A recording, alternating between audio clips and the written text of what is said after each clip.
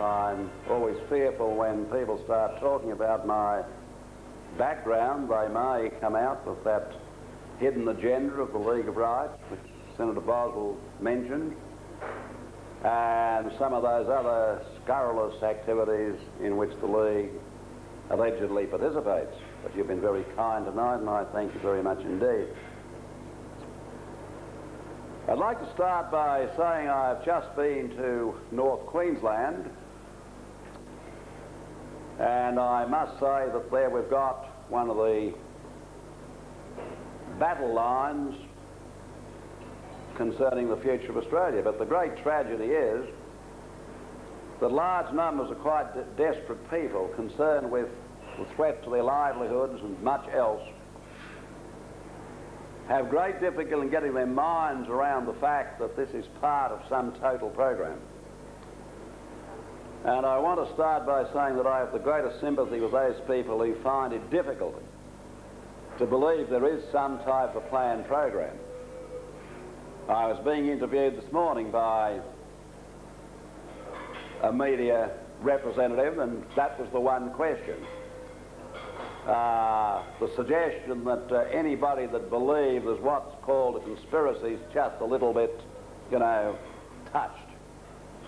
And I'm sympathetic with those who have some problem about that, and I think perhaps the best thing to do is to look at that word conspiracy. It's very emotional to many people, but really the meaning of conspiracy is as old as man. We can go right back to, shall we say, uh, Julius Caesar. There was a conspiracy to pull him down. There was a chap called Alexander the Great who believed that if the whole world was run by one man, it would be a much better place. And he set about trying to achieve that.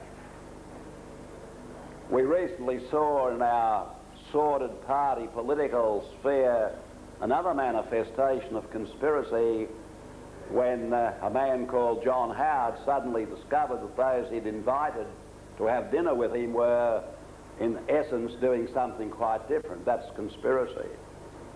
Conspiracy is a situation where a man or a group of men do come together to achieve a common purpose.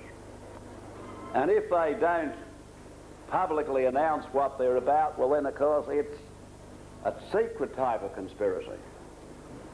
But the conspiracy I'm talking about tonight is an open conspiracy. And no one can dispute it because you've been told all about it and you can see it unfolding before your eyes today. The planned surrender of Australia.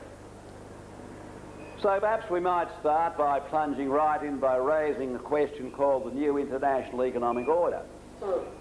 Now, if you listen to the critics of the League, of course, that's just simply a product of uh, Eric Butler or his colleagues' overheated imagination. The idea there's any sort of a program like that is too silly for words. Well, let us look just at hard facts. Let us first start with the Australian Labor Party's own platform.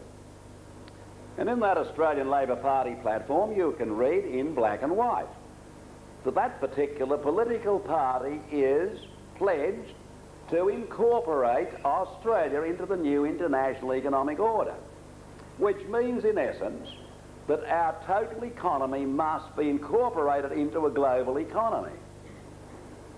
And if you are following this and can understand the double talk, you'd be listening to Senator Button.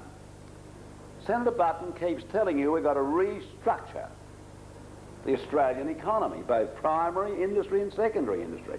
That's one of the new buzzwords, restructuring. What does that mean? It means progressively phasing out some sections of our economy, amalgamating other parts of our economy to fit it into an international order. That's what it's all about.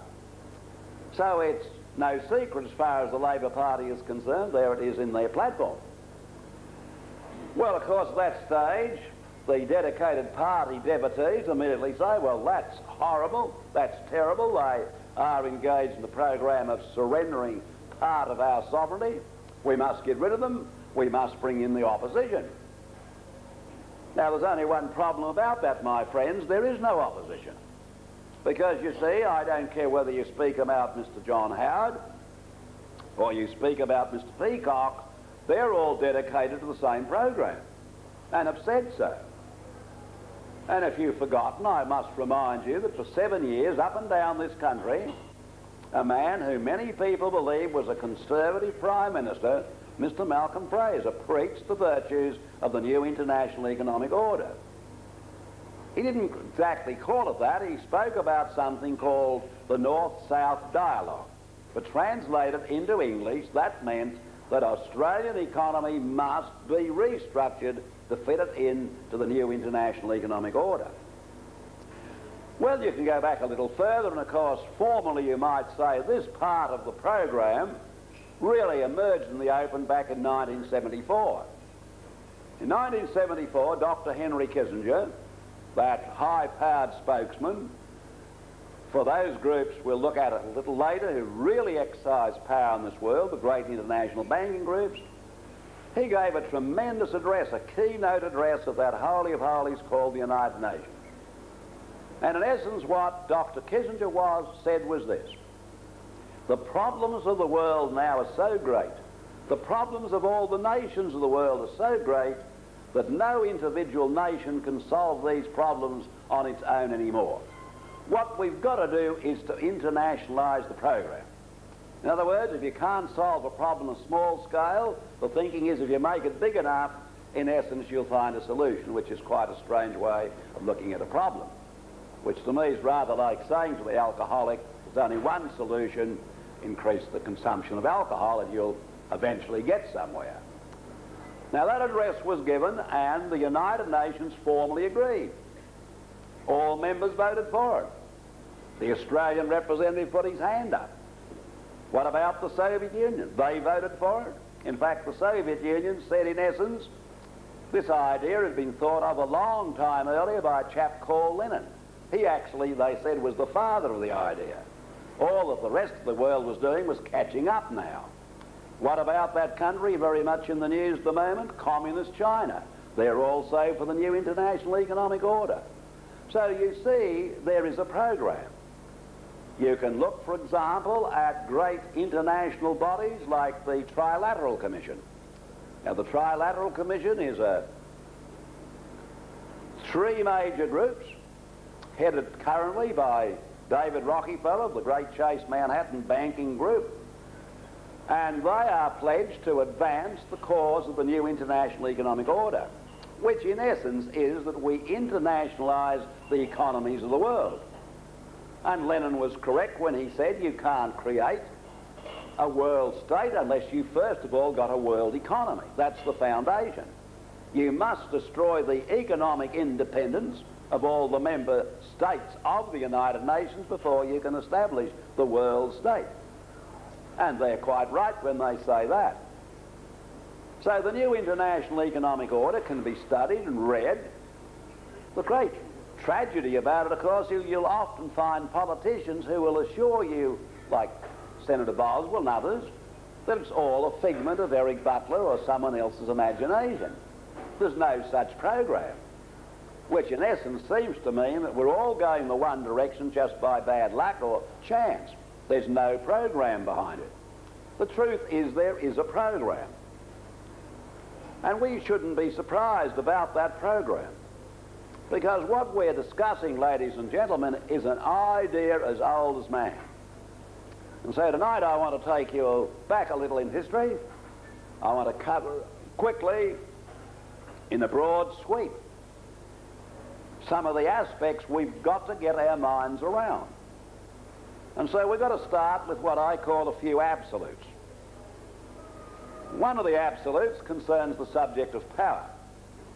Now, ever since there have been human beings on this world, some of them wanted power. They still want power. You see it every day. The will to power. That's as old as man, starting, as I said, with Alexander the Great, right up to the Soviet Union, other groups wanting power. Now, the absolute power is, of course, the one that we're warned about by the great Lord Acton when he said that all power tends to corrupt and absolute power corrupts absolutely. That, that is an absolute. Now, it's not very fashionable today to talk about absolutes. So I must make it quite clear here, ladies and gentlemen, I believe in absolutes. I believe the 2 and 2 still equals 4. I believe there are absolute natural laws, and I'm going to discuss them. You can't change them, you can't alter them, but if you're sensible and got enough humility, you can discover them, and then much better still, you can obey them. I suppose one absolute we might give as an example is the law of gravity. That's an absolute. You mightn't like it. You might say it's inconvenient. You might even be one of these highly educated people who on the blackboard can prove it doesn't exist. But I don't care how educated you are, and I don't care what you believe, and I don't care whether you're rich, I don't care whether you're poor, I don't care whether you're good or whether you're bad. But if you jump over the cliff, you'll always get the same result. That is an absolute. Now, there's a very wise English poet, some of you would be familiar with him, the late G.K. Chesterton. Sometimes poets have a sort of a way of putting a truth that's very profound. And Chesterton was discussing this and said, you know, the man that jumps over the cliff, he not only violates that absolute called the law of gravity, he demonstrates the truth of the law. That's a very profound remark. And paradoxical though it may seem, and I keep stressing this because I believe it's terribly important, ladies and gentlemen. Paradoxical though it seems, the very plight of the world to me is the great hope of the world. Because you see, the plight of the world is a manifestation we are violating absolutes. If there were no absolutes to violate, there would be nowhere to go, would there? You can put in whatever language you like. The great Alexander Solzhenitsyn put it in simple Christian language when he said, we've forgotten that absolute we call God. And until we go back to that absolute, there's no way out. But there is a way out as long as we accept the fact as an absolute. That means we've got to change our thinking. We've got to have a different approach. And you can move on to these other absolutes. The absolute about power, which as Acton said, always tends to corrupt. Absolute power corrupts absolutely. But the idealist says, well, it ought not to corrupt. There ought to be good men that can handle power. Well, I'm not here to preach tonight, but I'd just like to point out to you that the greatest temptation offered to him who at least the Christian believed was the Son of God was power. The temptation in the wilderness on the mountain. The temptation was world dominion. That was the way to achieve the kingdom. And Christ rejected it. And I never cease to be amazed by people who still call themselves Christians who will agree that he whom they, I hope, still believes the Son of God, he accept, rejected power, and yet they seem to believe that ordinary mortal human beings can be trusted with it. The truth is that no individual can be trusted with excessive power. In other words, the only safe place for all power is in the hands of the many. Decentralized power, with every individual personally responsible for the power he uses. Not as we are getting today in our highly centralized society where power is used by individuals in different fields, political, economic and financial, and they are not personally responsible for that power. I suppose an example of what I'm talking about is David Rockefeller. Now, David Rockefeller, back in the 70s, established the Chase Manhattan Bank at a time when Mao Zedong was leading what today is called Communist China. And he went back to the United States and he wrote a most remarkable article. It wasn't a comment off the cuff. And he said that what's taking place in Communist China is the most constructive revolution of the last 2,000 years. He said this is a tremendous step forward in the history of man. And here was Rockefeller using power no man should have through finance to modernize China. It'd be very instructive to hear from Mr. Rockefeller right at this moment. Does he regard what's taken place as a manifestation of one of the greatest achievements of the last 2,000 years? We shouldn't be surprised what's happening in China. It is the manifestation of power. Power. And the men who've got power are so corrupted, they're not going to relinquish that power. They're even going to use naked force. And with modern technology, they can do that. And the great tragedy is that the damage has to be done. We have to see this before some of our so-called intellectuals will at least humble themselves to admit this is the problem. And so I'm always a man that's looking for some bright lights in the situation. Perhaps you missed this last Saturday. One of the most remarkable articles I've ever read. An article by a man who said Eric Butler was the most dangerous man in Australia a couple of years ago. His name is Phillip Adams. Read his article. Phillip Adams now says, we've got to admit, we're all suffering from delusions. And he spelled it out publicly. The same man, I might say, of course, for one time, was a great supporter of the Soviet Union until, of course, the Hungarian uprising. And that shook him a little. He moved then to the Fabians. But now he's shifted a bit more because, you see, there's the manifestation, the end of the result of power. And so this question's got to be examined. And it applies to everyone, whoever he may be. Power. The whole of history can be written around it. And linked with that, of course, is another absolute, and that's the one that we've got to direct a lot of attention to at the moment, about government. We're having a lot of discussion about government, being debated. What are we talking about? What is government? What's it all about? The absolute about government was enunciated by one of Acton's great contemporaries, Lord Bryce, in the great classic, Modern Democracies. Now, Bryce said this, it is the natural tendency of all governments to increase their own power. That's as absolute as the law of gravity. It's no good saying they ought not to do it. The reality is they do it. And ever since men have been trying to govern themselves, Therefore, they've been grappling with this problem. As social beings, we live together. We must live together. We must have some form of government. But how do we take action or how do we have some sort of a program that ensures that government of its nature doesn't take more and more power until government becomes a monster? How do you deal with that? Well, let's go back again. Let's have a quick look at history. Let's start with the Greeks, to whom we owe so much. We owe the Greeks, to the Greeks, the word democracy. Now that's tossed around every day. You're reading about it, democracy. Whether it's dead or buried, they're talking about in China. But what about here? Democracy, well what is it? Well, democracy is derived from the Greek, demos, the people. The will of the people. But someone says, but we're all voting, Mr. Butler. Surely if people are voting, there's democracy.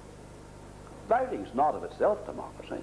Voting's a means whereby you might or you might not get democracy. You see, they vote in the Soviet Union. They even have a vote in communist China. That's hardly democracy. No, democracy only exists when the will of the people prevails. So I've no hesitation in saying, as I've been saying to dozens of meetings throughout Australia recently, there's very little democracy in this country at the moment. And we can easily test it. And I've been putting a little questionnaire to all meetings. Perhaps we might repeat it here tonight with your permission, Mr Chairman. Let's have a little vote, a real vote. Let's start with one that's very prominent at the moment in your minds, interest rates. So all those in favour of the present interest rates put their hands up. No one's in favour of that? We did meet one learned young chap, I suspect he was an economics student up at one meeting. He was in favour the other night, but he's a hopeless minority. So no one's in favour of that. But you're going to get it, and you might even get higher interest rates if the witch doctors, as I call them, the economic experts, decide it's going to be good for you. You've got to take your medicine. Well, what about high taxation? All those in favour of the present level of taxation, put their hands up. No one's in favour of that either. Isn't it surprising? You can run through all the other issues. Immigration, all those in favour of that. And you discover as you go through all the basic issues, the great majority are not in favour of any of these policies, which means the will of the people is not prevailing at all. So why do we talk about democracy? Now, we've got the instruments whereby we might get democracy, but that's a subject we'll discuss a little later. But clearly at the moment we haven't got democracy. And yet we talk about it. Well, now what did the Greeks discover about the subject? The Greeks discovered some absolutes. now, number one, they discovered this. If you're going to have representative government, the first basic requirement is that all the people to be represented must be basically the same kind of people. They must be basically homogeneous. That's number one requirement. The second requirement is they all share the same value system. The same religion, call it what you like. That's the second requirement. And the third requirement, if you're going to have genuine representative government, is that the elected representative must be physically close enough to the elected that the elector can almost reach out physically and shake him by the throat if he's not doing what the representative should be doing for the elector. In other words, the government must be close to the people. And so the Greeks evolved the system of the small city-states.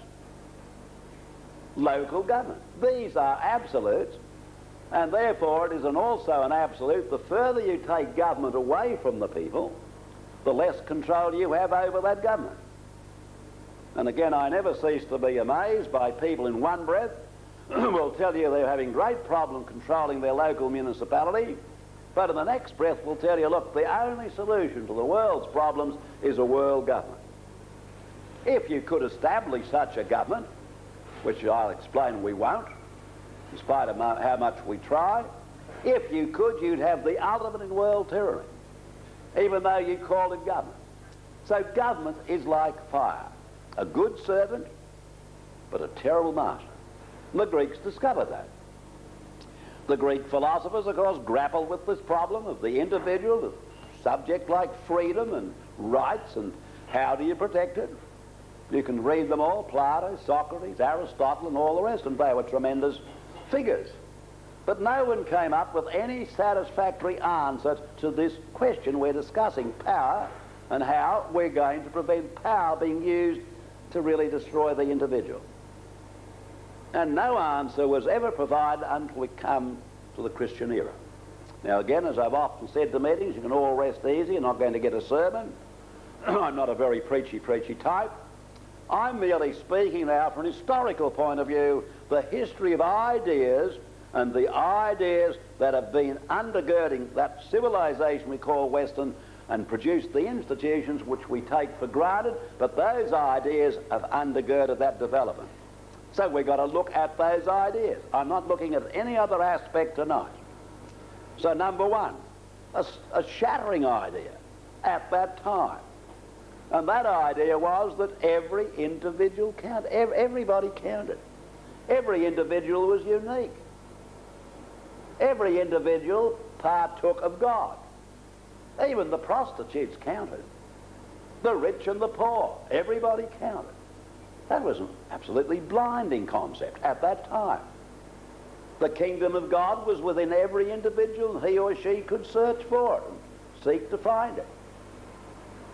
What a revelation. And even more so, the individual is born to be free. The truth shall make you free. Freedom was a highly desirable state of affairs for that unique individual. And because of that, obviously then, the group exists to serve the individual. The individual doesn't exist to be manipulated by those who control the group. And it brought the whole question to a great climax with Christ's answer that attack by the Pharisees about doing good works on the Sabbath. And the answer, amazing. The Sabbath was made for man not man for the Sabbath. In other words, institutions exist to serve that rare individual called the individual. The state exists to serve the individual. And it's not surprising the Pharisees had only one answer to that. They said, crucify. We can't tolerate that idea. I'm terribly sorry to tell you the Pharisaical ideas come back. Very strong today. We'll look at the way it's come back. History's been perverted. These are ideas that we need to get our minds around. Of course, then the next question, if individuals are all precious, born to be free, institutions exist to serve them, then how are we going to regulate the associations between people? How are we going to do that? We're introduced to another blinding truth. You should love one another. That's not a piece of sloppy sentimentalism. That's a law that partakes of truth. Because if you do truly love one another, you do love your neighbour as yourself, and you both respect and love the same absolute, then your relations one with the other are changed dramatically. And you don't need a whole host of written laws, regulations, decrees, all written down as the Pharisees. We now had a new law that proceeded virtually from the hearts of men. And if you'll think about that, if that law is accepted by everyone, you transform your society. You'd hardly need in a society where that law is really accepted, you'd hardly need a police force. And I regret to say that large numbers of Christians, I don't think, have even come to grips with that. Now, as we're going to see, that law and those truths undergirded the growth of our civilization, and there was a time when, at least, they were affected, or affected as more than they do today. Some of you are old enough to recall when you could leave your car unlocked. You could leave your house unlocked because your neighbours, your fellows, did love one another to the extent you respected one another's property. There was a time when your wife and your daughters and your kids could walk on the streets quite free because we had a different society with a different set of values, didn't we?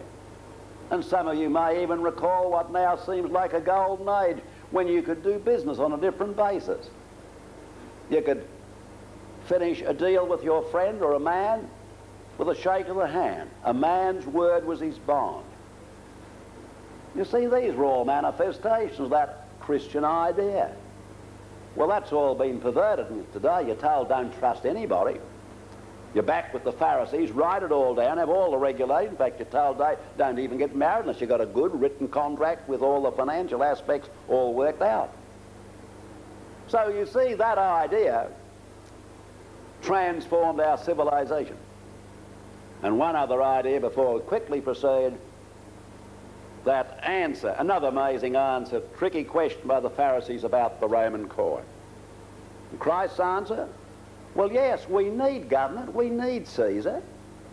So render unto Caesar that which belongs to Caesar. But, but, don't let render so much unto Caesar there's nothing left to render unto God. And in the famous words of Lord Acton, in that one statement, Christ, just from a philosophical point of view, solved the problem that baffled all the Greek philosophers. Because you see, in essence, what he said was, government is part of the natural order, we need government, but there must be a limit to government. And government exists to serve the individual. Governments belong to the individual. Individuals don't belong to governments. And government itself, Caesar himself, must be under a higher law. Well, that was a bit too much for the Romans. They didn't persecute the early Christians because of a new religion. There were dozens of new religions. The Romans were very tolerant about religion. But here was a religion which said that even Caesar must be subordinate to these truths, these absolutes. And that was intolerable because, you see, we got back to the power game. These are the ideas, my friends, that produced a civilization that's unique in the history of man. And like all the great Eastern religions, which are religions of pessimism, Christianity was a religion of hope, creativeness. Man could now participate because of free will in a great drama and away that tremendous story proceeded. Yes, you can look at all the black parts, but overall, slowly but surely, men learn to live together in a different way and their attitude towards governments changed. Beyond doubt, the people of that little country called England seem to grasp these ideas a little more deeply than most people, and so, for example, they developed a system of law, which today we talk about, but how many people know where it came from? It's called English common law. English common law, like, unlike other systems of law, is a unique contribution to the growth of civilization. It is a manifestation of the Christian idea. In essence, every individual is so precious, he's so valuable, that no individual can be tried, he must be assumed to be innocent until he is proved guilty in a court of law by his peers. English common law. That's the very foundation of what amount of sanity we've still got left in this country. It's being attacked every day and undermined. The common law. We come up, of course, to the, the great Magna Carta. The state, someone says, well, rather crude language, what the hell's Magna Carta got to do with me? In 1989. Well, if that same individual finds himself arrested by the gendarmes and thrown into jail, he'll soon discover it's got a lot to do with him because his lawyer, if he knows his business, will appeal to something called habeas corpus. And where did that originate? That's in Magna Carta. It's simply Latin, which in essence says you can't put people in jail, hold them indefinitely. You must bring them into a public court and make public charges against them. The body must be produced. So we discovered that Magna Carta's got a lot to do with him because the whole of our system of law is based on it. Magna Carta is simply a Christian document. And that's the document upon which particularly the English-speaking world has developed, including the Americans. Now, we in Australia have inherited all the developments that flowed along that stream of history. So in essence, when Arthur Phillipps arrived down here in Botany Bay with 11 ships, he didn't find all this lying around the beach and say this is a remarkable discovery. It was all brought here. It was developed here by the men and women who pioneered this country. And they're all inspired by these ideas. You know, we talk about the great Australian ethos called mateship. You know, mateship is simply a manifestation at a very practical level of the law of love. That's what it means, mateship. You do love your neighbour as yourself. And I've met many men that couldn't quote the Ten Commandments, but that they've lived in accordance with that concept, the law of love. We then go on, of course, to look briefly at what we've done in this country, and we've got to understand this as we come to this subject, the planned surrender of Australia. Our forebears, first of all, they developed this island continent with six mini nations. I think that's very important, ladies and gentlemen, to recall that, because if you believe the Paul Keatings and Bob Hawkes and all the rest, you might come to the conclusion that the only wisdom in this country flows out of Canberra. Well, let me tell you, long before Canberra was even known, I don't think it was even a sheep paddock, we had government in this country representing people who were living in accordance with these attributes, and they had developed six mini nations, modelled on the British example. Lower houses, upper house, the check lower house, and the Crown, which is a Christian institution, the common law all the great developmental work of this country had been undertaken long before we'd heard of Canberra. Many of the harbours had been developed, roads, railways were being produced. The only buildings in the capital cities that are worth looking at, if Mr Bond or some of his friends ever knocked them down, are those built before Federation. They've got some character to them. We overlook all this. Well, now, logically and naturally, the idea developed the same kind of people on the fifth continent. Australia is the fifth continent of the world. Six mini nations. Can't we get the benefits of those mini nations cooperating in some sort of a, a system? And so the idea developed some sort of a federal system of government. Now, if you'll read the great debates of last century, the thing that must strike you as you read through it all, those men compared with what you got today, these little political pygmies strutting around, these men are absolute giants. Read what Parkes or Deakin or Barton. You see, these men were steeped in the lessons of history about government and power. And so the great question was, well, how are we going to have a government that will serve the states without the nature of that government being such, it'll take more and more power. It could finish as a monster and devour us. That was the great issue. How were you going to get the people of Queensland to join a system of government along with Tasmanian, South Australians and Western Australians and all those small states could be outvoted perhaps by one city. They weren't going to vote for that. So you see the result of that was the development of a system of government based on the British system. A lower house, right, we'll have a House of Representatives, but we will have an upper house of review, which if you don't know was originally called the States House, called the Senate. And because the Federation is an association of sovereign states, there won't be any nonsense about one man, one vote, one value. Every state is entitled to equal representation in that part of the system. And so in the Senate, as you all know, the people of Tasmania have as many representatives as the people of New South Wales. And we re really should thank our forebears for their tremendous wisdom. Otherwise, if we hadn't the Senate and the checks and balances it's had on government, this country would be in an even worse mess than it is today, the Senate. Then, of course, they said, all right, we've got to give the people a say. If you're going to change the rules, so if you look at the Constitution, we'll have a referendum. I want to stress that because you've got a lot of people today, as we come to what we're talking about later, about having referendums, that's some newfangled idea. It's not, it's an old idea. It's part of our constitutional development. The people must be consulted. Well, away we went, and it wasn't long before the worst fears of some was, were really manifesting themselves, and all governments up at Canberra got that itch. That's the nature of government, particularly central government. A little more power.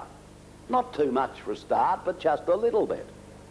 Generally because they want to do good. I want to stress this, you know, because many people get fooled by this whole question of power, and they say, yes, but this group here, they're well-meaning. They are pleasant people. You know, they are very uh, intelligent people. Some of them are very well educated. They're rather like the do-gooder. No, the do-gooder is a very pleasant person, I generally find. You know, the do-gooder is just that person that wants to do good to you, whether you want it done to you or not. And then you see he just wants enough power so he can do good to you. Might be just so he can fluoridate the public water supply or do some of these other things. But you see, when he takes the first step, he starts to corrupt himself. And the end result is predictable. You can predict what's going to happen. Power. And so away we went. But fortunately, any major changes in the power structure in this country had to be brought back to the people. And so every time it came back to the people in the main, the people at referendum said no. And that was the position right up until the Second World War. Now, as we entered the Second World War, we had a remarkable man here, an Attorney General by the name of Dr. Evatt. And I just want to say this without going into any detail, that Dr. Evatt was a very able man, a very clever man.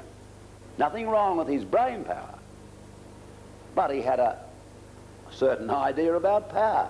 And he genuinely believed if he and his colleagues up at Canberra had it, after the Second World War was finished and all the servicemen come back, we'd have some sort of a utopia we could create here. But his big problem was he tried to stampede the people. Now, why did Bert Evatt have that idea? Well, you see, Bert Evatt, Dr. Evatt, belonged to that movement called the Fabian Socialist Movement. Now, if you will take notice of what the Ron Boswells and all these other people are saying, you see, the Fabian business is, is not a serious business. It's just perhaps a few academics having a little chat now and then, and this wretched League of Rights is trying to elevate it to some sort of a great menace. What is the Fabian Society? Well, we don't need to go beyond one outstanding authority on the subject, namely your own Prime Minister. Prime Minister Bob Hawke. He's a member of it. But he's done more than be a member of it. He's told you what it's all about. So let's just look at that little incident. It's important in this program of surrendering control of Australia. You will recall back in 1983 how Bob Hawke came to office. Quite a dramatic development. Bill Hayden, he felt even the drover's dog could win, but he was pushed aside, and this new pop star was brought on the stage, and he was elected. Well, a remarkable number of things happened. First of all, the great drought broke, and people said, there you are. This chap's different. Then we won the America Cup, and he was at every cricket match, every tennis match, where everybody was winning, there was Bob Hawke on the front pages everywhere. Played cricket with the kids, I well call one example where he got a black eye, and that was on the front pages. This was Bob Hawke. You almost thought he might start to walk on water any minute. Now, in 1984, in the midst of all this tremendous publicity, your Prime Minister gave a quite historic address in Melbourne at a dinner. It's not quite clear how many were there, but at least figures vary from 1,000 up to 2,000. But what we do know is that some of the most prominent of your fellow Australians were all at dinner, ranging from High Court judges, Supreme Court judges, academics, newspaper men, were all there. Now, what was the dinner about? It was to commemorate the founding of the Fabian Socialist Society way back in 1884 when a group of Marxists decided the English-speaking world would never accept the drive for power along the Bolshevik road, you have to have it under program. And the Sidney Webbs and all the rest devised that program. They've told you all about it. You can read that old cynic George Bernard Shaw of how we joined all the political parties, including the Conservative Party. And wasn't long, They're all putting forward ideas that would never have come into our heads if we hadn't put them. It's all there. But you see, Senator Boswell and these other politicians, it, it's all a myth of our, figment of our imagination. Well now, this address by Mr Hawke outlined the roots of his thinking, where his ideas come from, the role of the Fabian, but even more important, where he was going to take this country. He spelled it all out. And when you tell people about that address, I well understand those who say, well, that's, that's just astonishing. Because I, I don't recall even seeing that on the back pages. Still, that's on the front pages. Eh? And of course you didn't. Because the media which had been putting this pop star up there on every other issue, for some reason, this wasn't rated newsworthy. Made about three lines in the Sydney Morning Herald and a couple in the Advertiser, and that was that. In other words, the media of this country didn't think that was newsworthy, and that's an interesting situation itself. But what happened is rather interesting. And I got to confess this. I got, must confess this. That one of those supporters of that wretched League of Rights, a lady, wrote a very coy letter to the Prime Minister's secretary. And she said she'd always been interested, which was truthful, in Mr. Bob Hawke and his activities, and she'd just seen a brief reference this address. And she was quite sure it would contain some of the usual in-depth and comments that we'd expect from Mr. Hawke. Would it be too much if she could get a copy? And that private secretary was so delighted that someone be interested enough, he shot it to her. And then a dreadful thing happened. That League of Rights got hold of it and started to distribute all over Australia. You can read it there on the table tonight if you haven't got a copy. There's no secret about it anymore. I don't know if that secretary got the sack about it.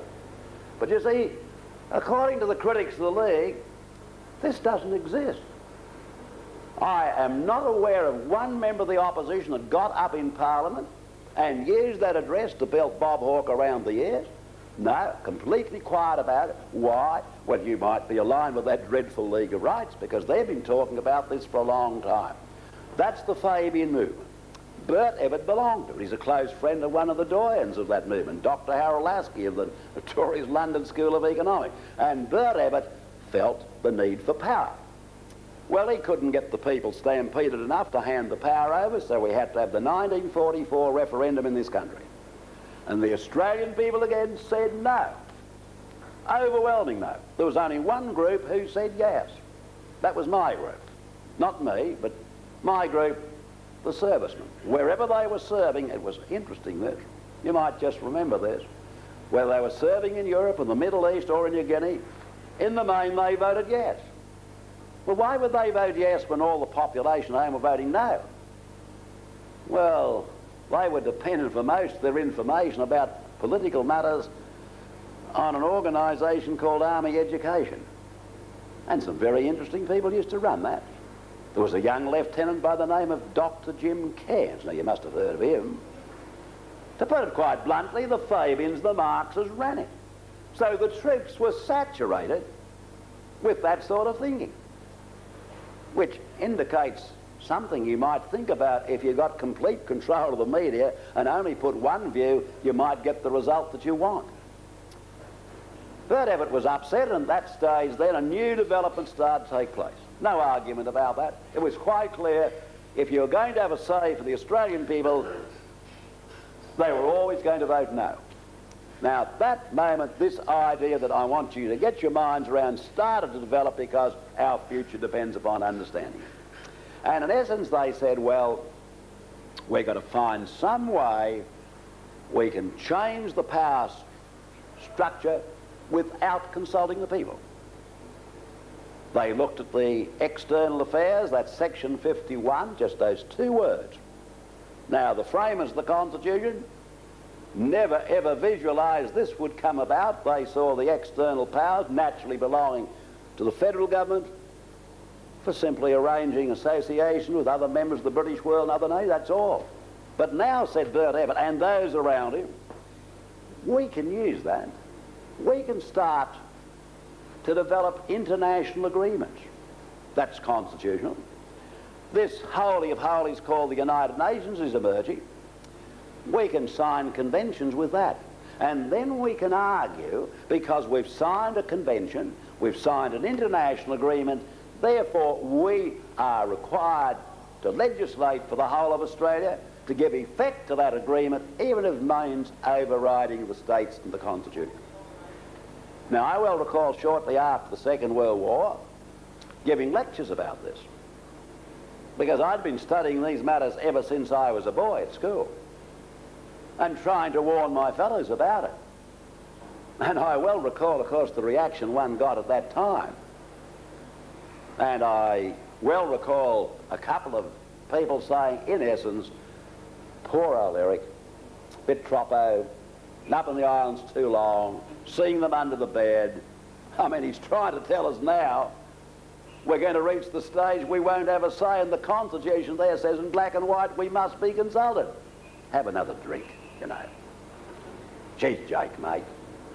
Well, you see, Fabian is a movement of gradualness. It's like my little story about the frog. If you haven't heard it, I'll tell you, and the others forgive me. Take a frog, a nice, live, healthy frog. You toss that frog into boiling water, and as soon as he gets that boiling water, his reflex results in an attempt to jump to safety. But if you put the same frog in cold water, and then just slowly increase the temperature, all the frog does is keep adjusting. As long as you don't overdo it, slowly but surely keep swimming around, and you know eventually you can boil him alive. Where the frog and the temperature's been progressively increased. Those who are old enough will agree with me that we're accepting things in this country which 50 years ago would have produced a revolution. We're like the frog, we've been conditioned. That's Fabianism, slowly but surely.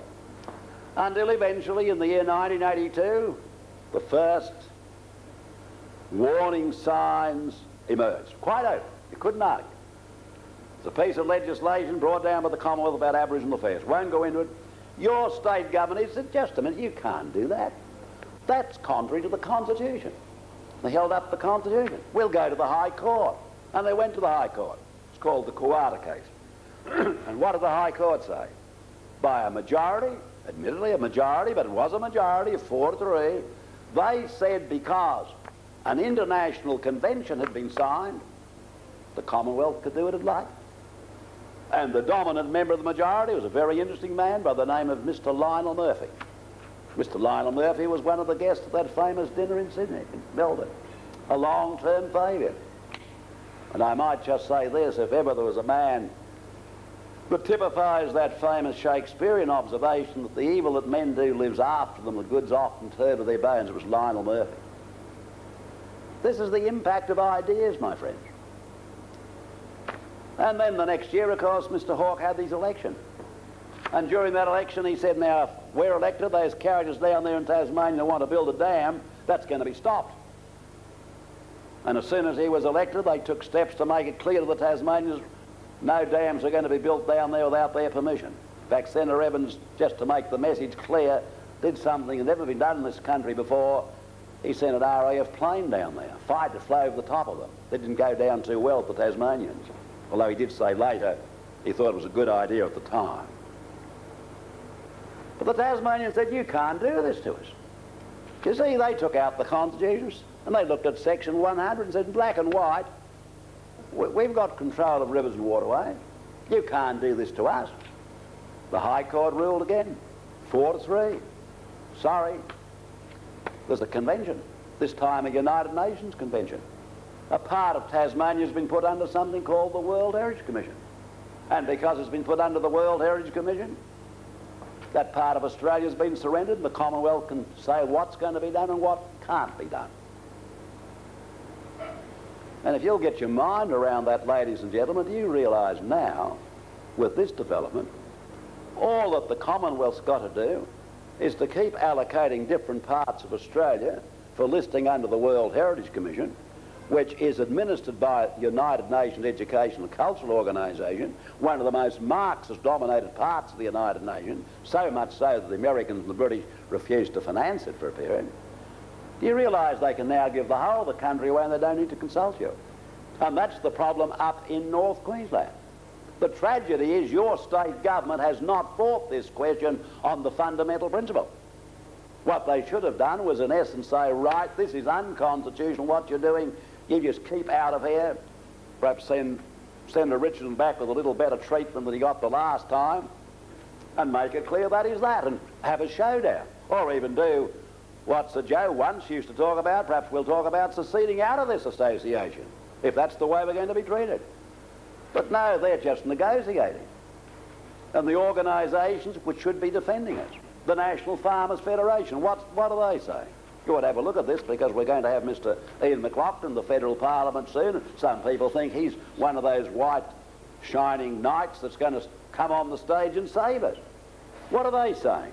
They're saying the only disagreement we've got about what's going up there is the compensation terms are not good enough, which in essence is saying we want better surrender terms. But they're not arguing about whether you should surrender or not. Surrender. They've got at least 100 areas now listed around Australia as potential areas for the World Heritage. The wildflower areas in West Australia. And people argue about conservation. It's got nothing to do with conservation. It's got nothing to do with the rain tree forest, nothing to do with the wildflowers in West Australia. It's got to do with how do you get power. And they've now got a means by which they can do it without consulting you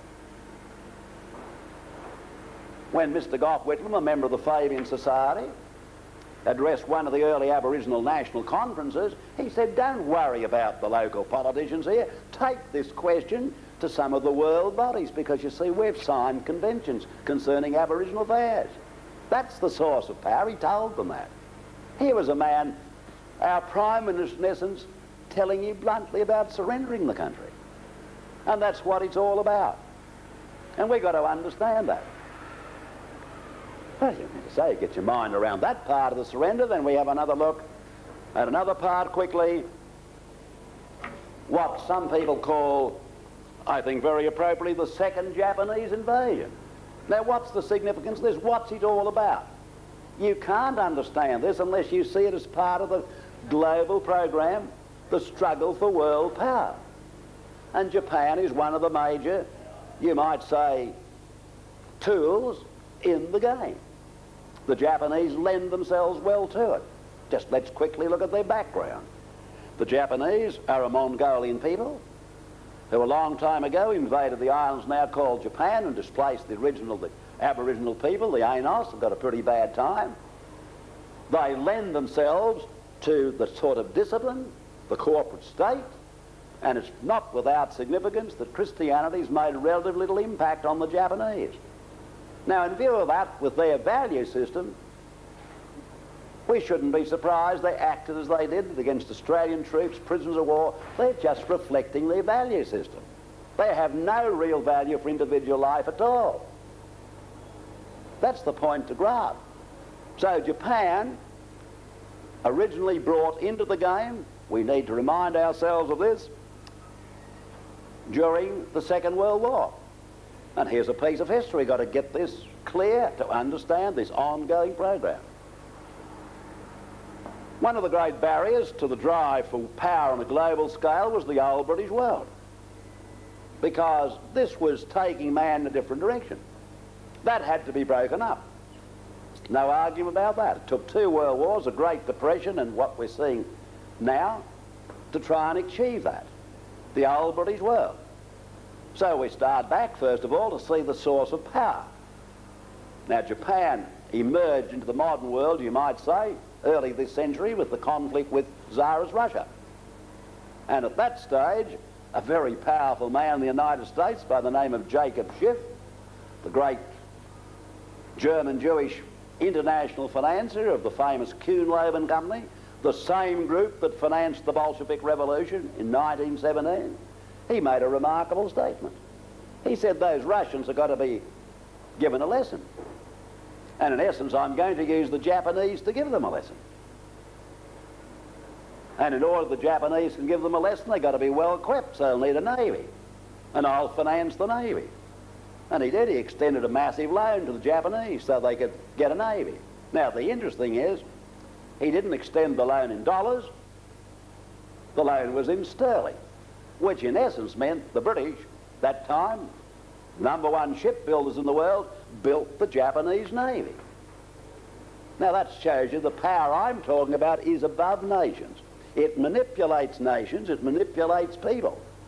It sees people as merely the raw material for planning on a global scale. Well,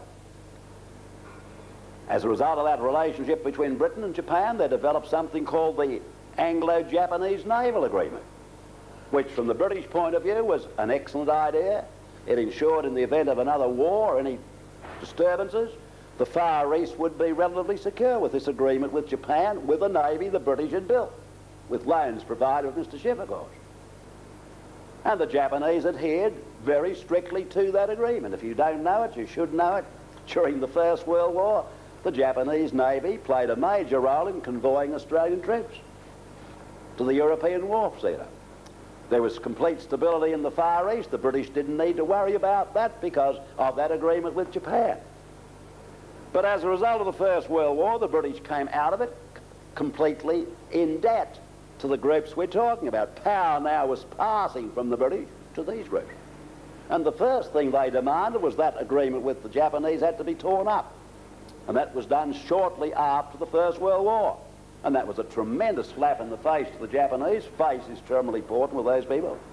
And so the seeds of what was to come later are already being sown. This is the power we're talking about. We went into the Great Depression. We came up to the events that led to the Second World War. A war which was primarily designed to achieve a further advance of this program. Both the Soviet and Hitler's Germany had been financed. But the major target was the, the old British world. Now, it's beyond dispute by 1941, the position as far as the British were concerned, we were concerned, was we either had to do one of two things. We could have continued with the conflict on our own and been ultimately beaten militarily, or try and reach some agreement with an alternative German government, and that was a possibility. Because you see, the major factor in all of this was the United States was not going to come into the conflict. 80% of the American people were completely opposed to it. So the great problem of the power groups, how to bring America into the conflict, to continue the conflict. That was the big question. Japan was the tool. A moderate government headed by Prince Konoye was toppled. He nearly crawled to the Americans, would have done anything they wanted. I hadn't heard of in Japanese history this sort of attitude of face. No. The power men wanted war. And so they applied an economic stranglehold on Japan. And as the Japanese moderates said, if you do that, we'll be collapsed. The militaries take power and you'll have war. And we had Pearl Harbor. Pearl Harbor was conceived in Washington, not primarily in Tokyo. That immediately swept the United States into the war. You solved that problem overnight, didn't you? And at the end of the war, where were we all? Let's take Japan itself, bashed by the atomic bomb. Allegedly, the war with Japan had something to do with Manchuria. The Japanese had invaded Manchuria. They weren't supposed to be there. Fair enough. But what happened to Manchuria? It was handed over to the Soviet Union without even consulting the Chinese or anywhere else. You see, the Japanese were simply part of the ongoing program. They've now been built up, modernised, financed, and away they go. And at that stage, then we have the first next attack on the old British world. The British told you you've got to join something called the common market. Because this program for globalising power has a concept of first amalgamating nations into regional blocks so they can be then fitted into a final super bloc. It's all there. Read the literature. Our politicians apparently don't. The drive to get the British into the common market was inspired by these groups. And as one who lectured in Britain, I saw the problems because people wouldn't even believe, wouldn't even believe the document. The Treaty of Rome, as it's called, nothing to do with the Vatican, just signed in Rome. And people said, well, it, it can't mean that. This is just a sort of an economic arrangement. We're terribly sorry about the Australians and New Zealand break up our trading partnership, but you know, it's only an economic arrangement. And to try and tell them the ultimate objective is to completely amalgamate you, oh, look, sport, that just couldn't happen here, old chap. No, no, we play cricket here. That just couldn't happen. Well, now, of course, they've discovered it can happen. And step by step, they've been sucked into this. They were even sold the story, you know, that by joining the common market, that'd be a great barrier against the expansion of communism. But now, right as you meet here tonight, with this dramatic change, so-called change, in the Soviet Union, now it's proposed that the Soviet Union should be brought into the common market. We've got to integrate the economies more and more. And at this moment, a quite remarkable development's taken place. And that iron lady that's gone along with much of this, Mrs. Thatcher, suddenly says, well, the final step, which is due in 1992, we've got to have a common currency, the financial control Reserve Bank. My goodness. If we do that, we might as well close the British House of Commons down. And do you know what's happened? A remarkable development. The very press that used to praise Mrs. Thatcher are now telling you she's a backward-looking old witch. She hasn't caught the vision of the future. And today's press reports I see said that amongst the great opponents of Margaret Thatcher are the big multinationals and the international bankers. In other words, she's got to go if she's going to take that attitude because Britain's got to be sucked right in. So you see, this is part of that ongoing program, and Japan was used. And Japan's economy is used then as a battering ram against us. It's being used against America. It's part of the Trilateral Commission. Have you wondered, for example, why in Japan they have interest rates at only 3.5% and you have 17, 18 and 19%? Do you think that's just a bit of bad luck? Perhaps they're a bit more far-sighted up there? This is all part of the total program. You see, what the Japanese are doing is doing much better than we are able to do. And I just want to say a few words on this because it's got to be said they're mastering the subject of black magic a bit better than we are and are being used to drive it harder. Now, part of black magic, of course, tells us that one of the things we've got to do if we're going to hold on in this country is we've got to have uh, the investment of Japanese yen. That's the first thing. And the Japanese, see, got a lot of yen because they've got a lot of export credits because they work harder than you do. They're disciplined more. And so they got a lot of yen. Now, presumably, if we don't get those yen, my friends, we've had it. So I've got to raise the question, I am raising it. If we don't face this question, you've got no defence at all. This is not a question of physical defence. The physical defence that we undertook back in 41, 42, 43 was relatively easy because we understood the nature of the problem. But now the problem's very difficult because the problem's in our own minds now. And the witch doctors of orthodox finance have convinced us if you don't have those yen here, you really can't get this country on its feet. So therefore we've got to have high interest rates, otherwise they won't send the yen here. In fact, an even more dreadful thing could happen. There could be a flight of capital out of the country. Now, that's a dreadful thing to contemplate, isn't it? And have you ever wondered what that means? Have you ever asked yourself, well, what do we get when we get this yen? What are they sending us here? The black magic, of course, masks the fact they don't send us anything except now little electronic blips. And apparently if we don't play the game and don't have high interest rates to get the blips here, they might send the blips somewhere else. Do we believe that? Do we accept that? Well, I want to tell you, my friends, quickly, during the first Japanese invasion, we didn't accept that at all. Perhaps we were a different breed of people. Perhaps we saw things a little differently. Because in the year 1941, we brought to office in this government, in this country, one of those old-time Labor governments. Now, please, may I just say this. When I talk about Labor governments, I'm not talking about this present bunch of uh, Fabians and academics and pseudo-intellectuals. I'm speaking about the old-time Labor Party. With all its faults and had many, I criticise them. But at least they are Australian patriots. They weren't, they were nationalists, they weren't internationalists. And there was one of them, John Curtin, who'd got some understanding of this black magic. And in essence said, well, listen, if a thing is physically possible, we've got to make it financially possible. And that concept swept this country. And that's the sort of movement that hopefully can be developed in this country again, from the grassroots. It was a tremendous movement. You can read the literature of the period. Resolutions in your state parliaments. The first one started in South Australia, moved by a chap called Mr. Bill McGilvray.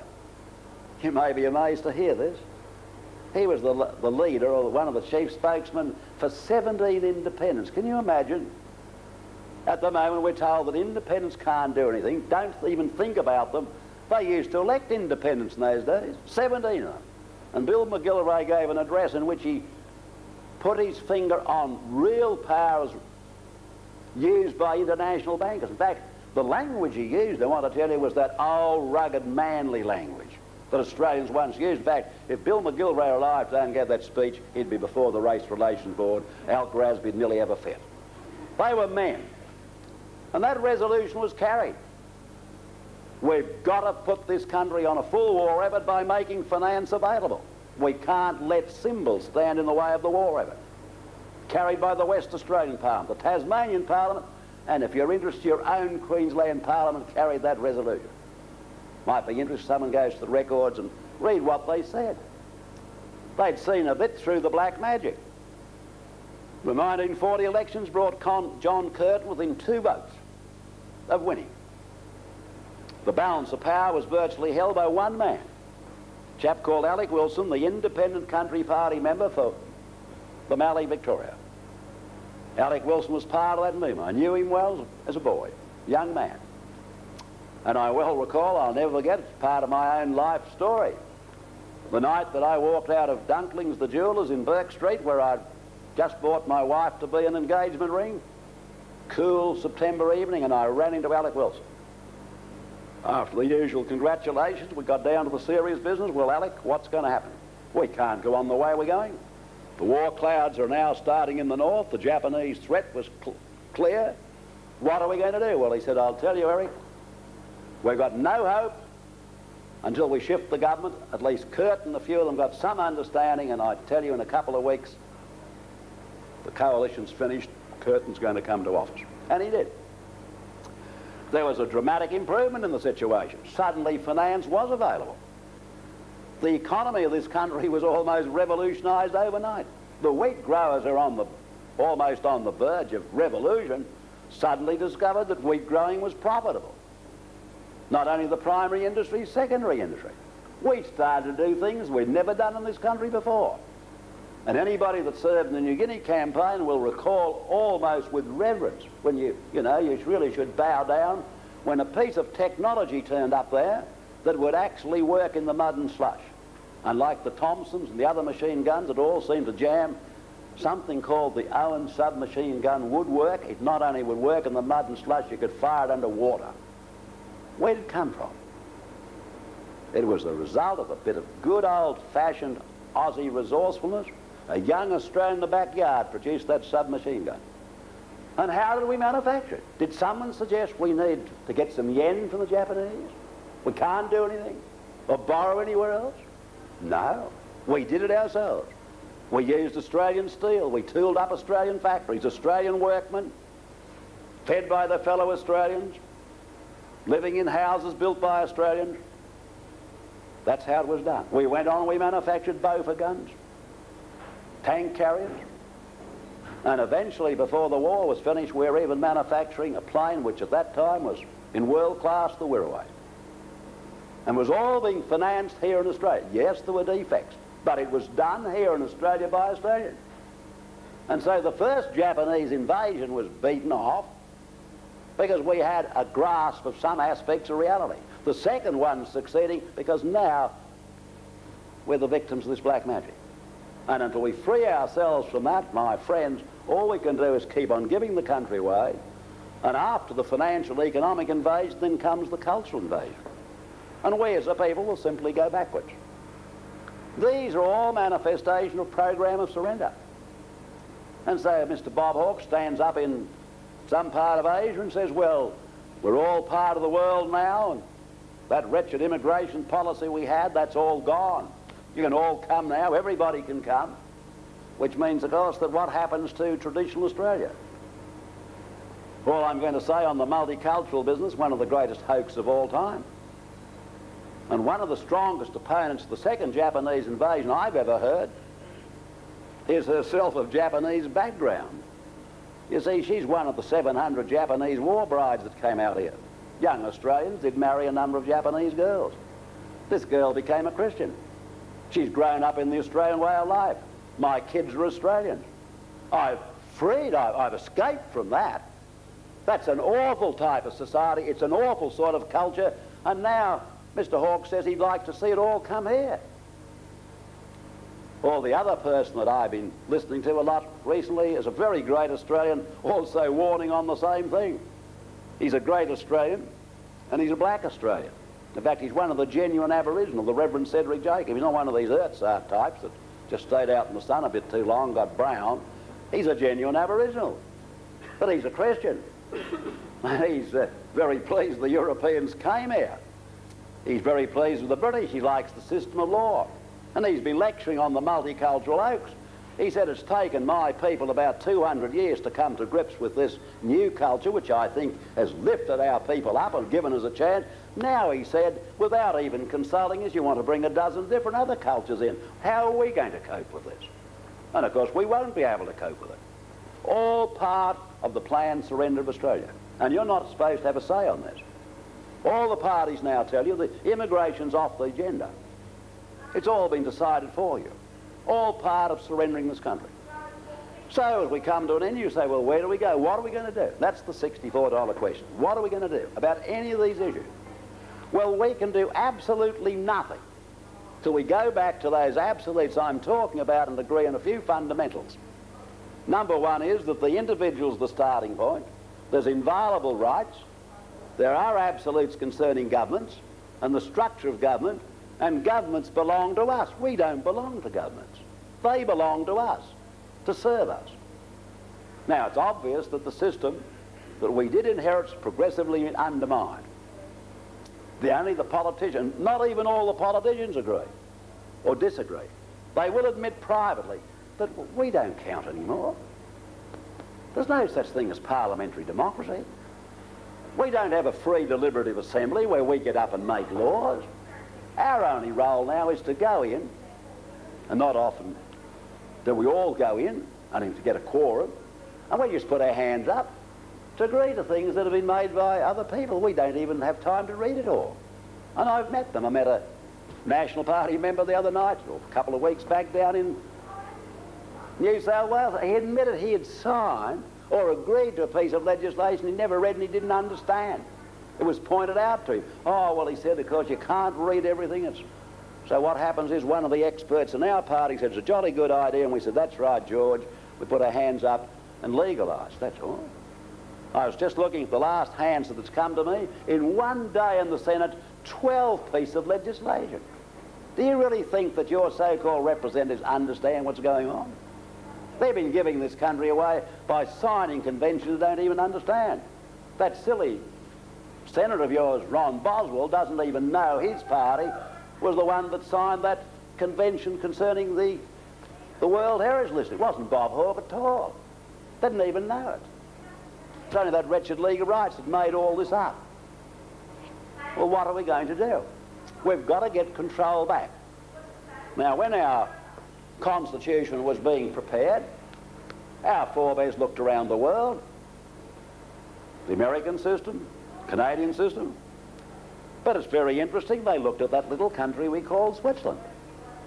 Because you see, from about the beginning, middle of last century, Switzerland was evolving a very interesting constitutional system of government. There were three major, of course, language culture groups in Switzerland. German speaking, French speaking, Italian speaking. Most of the power is decentralised, back with the cantons. The federal government has the minimum power. And this constitutional development insisted that the people should have the right to veto legislation they don't like, laws they don't like. And they can do it. How do they do it? All they got to do is enough of them are concerned enough, you petition, you demand a referendum.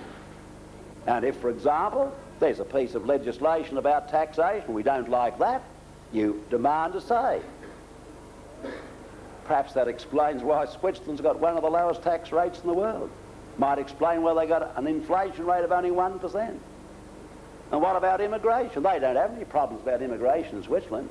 Because if you want to become a citizen of Switzerland, you've got to be accepted by the people in the local canton where you're going to live.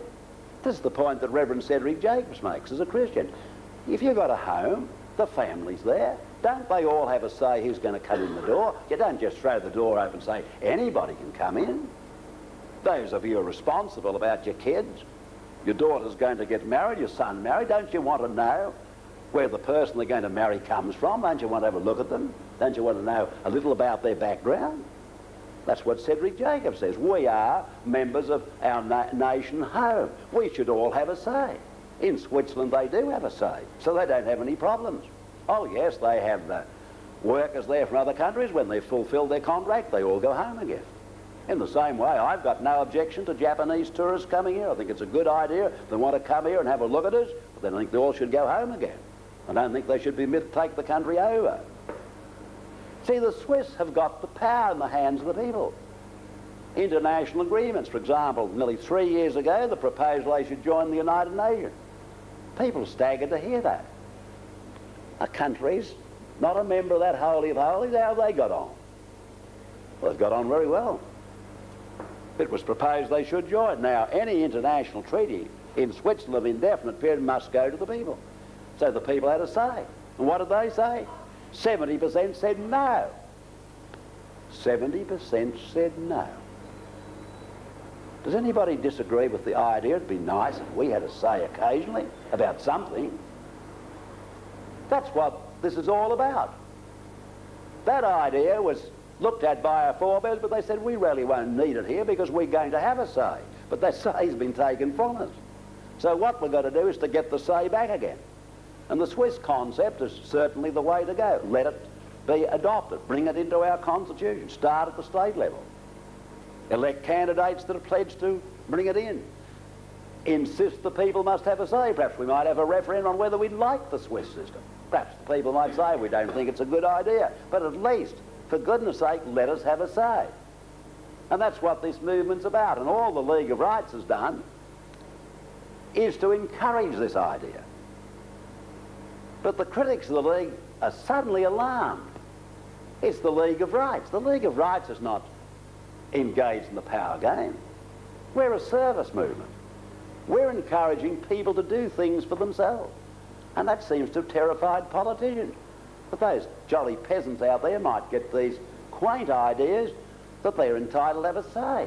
Where will it finish? They might even want lower interest rates, lower taxes, might want us out of the United Nations, might want some of those international conventions torn up. You can't have that. Well, we've got to make up our minds whether we're going to have a say or whether you're going to continue. Just let the country go the way it's going.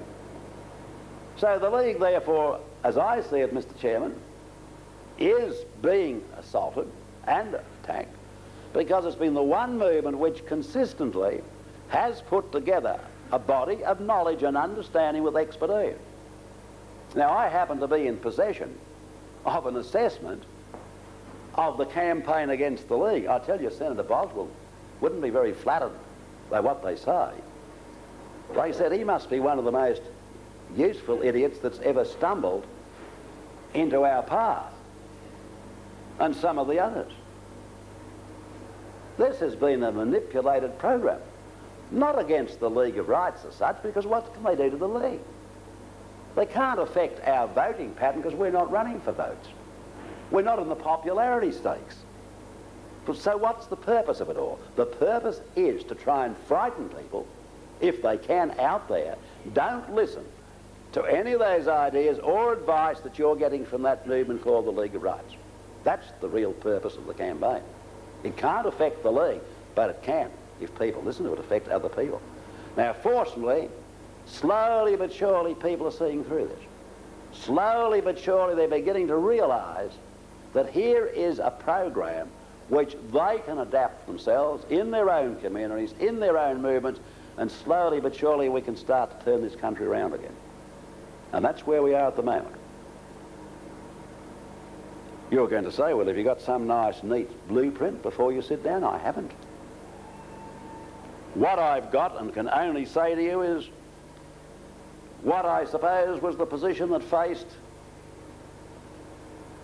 our pioneering forebears that went out into this vast, empty country. And what did they have? Well, they had one thing, they had a tremendous faith in themselves and their fellows. They had a faith in the institutions and the stream of ideas that had been brought here from overseas. That's what they had. In the same way, the men at Gallipoli, what do they have except faith? Or those that held the line, the Owen Stanleys and all the rest. Faith. Without a clear understanding of how you're going to reach the end of the road, but you sustain yourself by faith, rooted in these absolutes we've been talking about. And so I want to conclude, Mr Chairman, by expressing my faith. I believe we as a nation are better equipped with our resources, our history and everything else to show the rest of the world there's a way to go, a better way to go. How we're going to do it, we'll evolve that as we go along. But the starting point, at least, is to kindle the faith, sustain the faith, and continue to go back to those absolutes all the time. And if we do this, I'm quite sure we can pass to our kids and to our grandkids that heritage which our forebears passed to us. Thank you very much.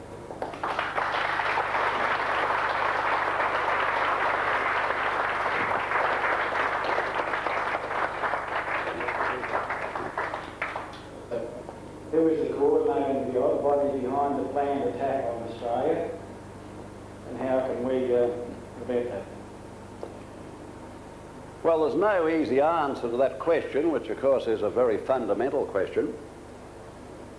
What we are witnessing is, of course, a program emerging, but perhaps at this stage I should say something that I think is most important to say, that this program is never ever going to succeed.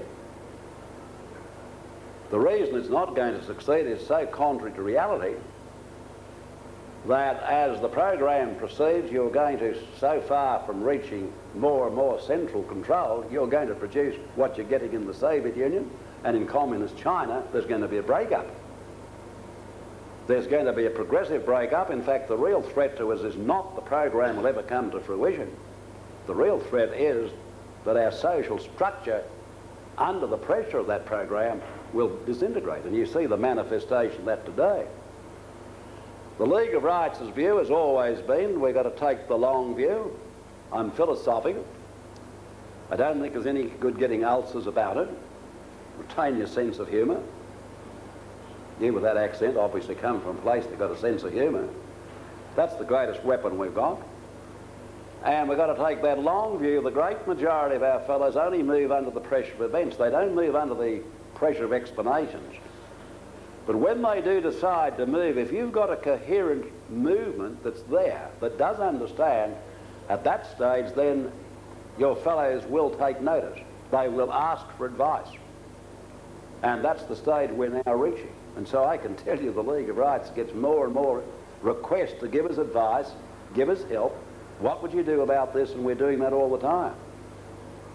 And we've got to take, therefore, that long view in the battle. And I appreciate the points you've made as far as, beyond doubt, incidentally, the greatest Governor General I think we've ever had in this country, Sir William Slim. He was a man's man, he was a soldier's man. He demonstrated the value of that sort of leadership, which I did indicate you'll find first outlined 2,000 years ago, which said that he'd be the greatest among you, got to be the servant of them all. That's the sort of leadership we want in this country. We don't want a lot of people with ego trips. We don't want a lot of people to think they're the, the end and all of all the problems we got, jumping into parties and all that. We want Australians back here at the grassroots prepared to come forward to offer to serve their fellows. But they've got to have a volume of knowledge and understanding. All I can say is the League is trying to provide that, and judging by the sort of attacks on us by our enemies, this is the th one thing that they fear. Now that's the best short answer I can give you.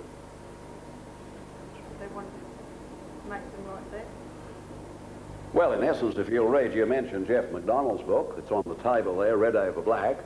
Incidentally, the story of Jeff MacDonald's worth just recalling. Jeff MacDonald, the former top communist, uh, as a young student inside the communist conspiracy, had seen and understood the way in which uh, it was proposed to manipulate the indigenous people of this country, not for their benefit, but to destroy the country. His big problem was no one would listen to him. It was too silly for words. He went to all the parties, including the Liberal Party. And it wasn't until the League of Rights examined this. We provided him not only with a publisher, we provided him with a platform, and there's no argument. In 1984, he had a tremendous impact in this country, so much so the federal government did something quite unprecedented. They uh, brought, they, they, call, they called in Mr. Ken Gott, the top Fabian, paid him $55,000 to research the League of Rights. Now, what he was saying was, of course, that the, the Aboriginal people are simply seen as pawns in a bigger game. And they would have been destroyed as much as the original Aboriginal people in Japan were overwhelmed by the invading Mongolian people. There's very few of the Ainos people left in Japan, and those that do remain, they're regarded as very second-class citizens. Anybody that knows the Japanese situation knows that. Very difficult to give you a short answer, an adequate answer, except to say this, that the Australia Act in the long haul of history obviously has weakened our situation in this country. I think the most disturbing aspect of the Australia Act is that you had a lot of politicians around this country who put their hands up and voted for it. And if you talk to them privately and get down to the nitty-gritty later, they'll admit they didn't know anything about or what it was about or what was involved. That is part of the problem we're facing. And you've got to understand that. So it's not only the Australia Act, there's many other things some of you heard or met. Uh, beyond doubt, the greatest Austra Australian authority on these international treaties is Dr. David Mitchell. And incidentally, I understand he's writing a book. And he's pointed out that you'll find impossible to get a complete list, or very difficult to get a complete list of everything that's been signed. And as for asking a politician what he's agreed to, he wouldn't have a clue. That's part of the problem. I well recall it not only applies in this country, it's all over the world. When I was in Canada shortly after this great start of the revolution of our constitution, I was telling Canadians at a meeting way up Dawson's Creek, which is up towards Alaska, about what had happened and the way this thing in Tasmania developed. And they all looked at me in amazement and said, we thought you Australians were pretty resourceful people. We just can't get our minds around the fact you'd surrender part of your country. Well, just by chance, I'd been in the library of the public building before and I looked at a whole series on the wall there of Canada's major national parks And lo and behold, I see there in black and white they'd all been put under the same central control years before. And those Canadians nearly fell down. I said, we never knew anything about that. Well, I said, perhaps we'll ask the first Canadian federal member of parliament. We asked him. He couldn't remember that either. You see, this is part of what's taking place in the world today. The Swiss are in the position they can't do that, at least the Swiss. The people can have a say there. You can't sign international agreement without having a say. So the Australia Act, yes, bad news, but it's just an example of the way we're going. The retreat that's taking place is taking place on all fronts. And I've touched only the major aspects of the retreat. We can look at a number of other areas. We can look, for example, you have mentioned uh, the cultural aspect, tremendously important. That takes us to what's called our educational system. We've been progressively retreating on that front for years. Our kids are coming out of this system with the most incredible ideas. Young people are very vulnerable, you know. And at the moment, you know, compare with a few years ago, the great threat, the great fear was the bomb was going to drop. We don't hear any more about the bomb. Now something called the ozone. That's the terrifying thing, and everybody's going around all talking about the ozone threat. All the kids, they're getting taught in schools about this, this special material issue. All I'm going to say tonight is another manifestation of a great hoax designed to condition us so we'll accept more centralised control. Yes, peace studies are all designed to convince the young people, yes, that we can all live together in peace and brotherliness with everybody. Uh, everybody's just the same, we're all equal. And so it's all part of that softening up. So, yes, ideas are, of course, preceding the economic aspect, but they're also proceeding at the same time as the economic collapse and retreat is taking place. So you need, you could write a whole thesis on different manifestations of that retreat. Our problem, therefore, is to try and get this into some sort of perspective. It's a question of informing people, but most important of all is to give them hope. That's what people are lacking at the moment, hope. You don't need, Mr Chairman, at the moment to convince 80% of Australians they've got problems. They, they feel that. What they're all looking around for is, well, what can we do? Can you do anything? If they're convinced you can do nothing, well, perhaps it's better to surrender to Big Brother. Perhaps Big Brother will be kindly and nice. He'll be a different kind of Big Brother and we can all live together. This is taking place at the moment. So we've got to give them hope and we've got to do that by giving them a means whereby they can do something. And I've not met any people yet outside party politicians who disagree with the idea of us having something like the Swiss system, of having a say. That's the key. Then we'll start to lift the, the name of the game a bit.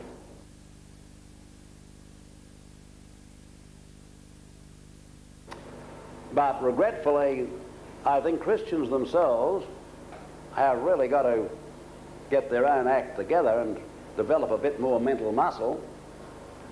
Instead of, in many cases, I'm not saying my friend's doing this because I know where he's come from, but we have all these trite statements turned out as if that solves your problem, such as, for example, we all should engage in prayer. Now, prayer is a tremendous thing. But I'm one of those Christians that believe the real purpose of going down on your knees and prayer is saying get up and fight. I think if you stay on your knees, you might find yourself being rather massacred because there are people that don't take much notice of prayer. There was a chap called St James who did make a very pertinent observation to the effect that faith without works is death. We must have works. We must have action. That means we've got to get down to programs. The absolute is, of course, what we call God. It's not God that's punishing us. We're punishing ourselves. If you're going to jump over the cliff all the time, it's not God. He's created the law of gravity. He didn't push you over. You're silly enough to think you can jump over without paying a price. Every time we violate absolutes, we've got to pay a price. It all depends when you've had enough and say, right, you're going to stop doing that or do something more sensible.